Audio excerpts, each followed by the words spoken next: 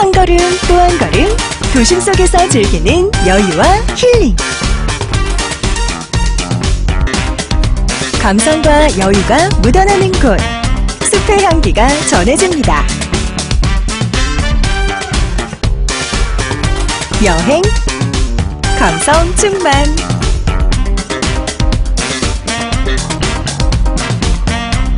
계절마다 달라지는 아름다운 자연, 영천만의 아름다움. 연인과 함께 여유와 낭만.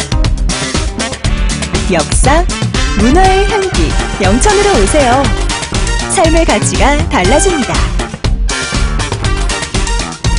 여러분의 꿈이 이루어지는 곳. 영천이 여러분을 기다립니다.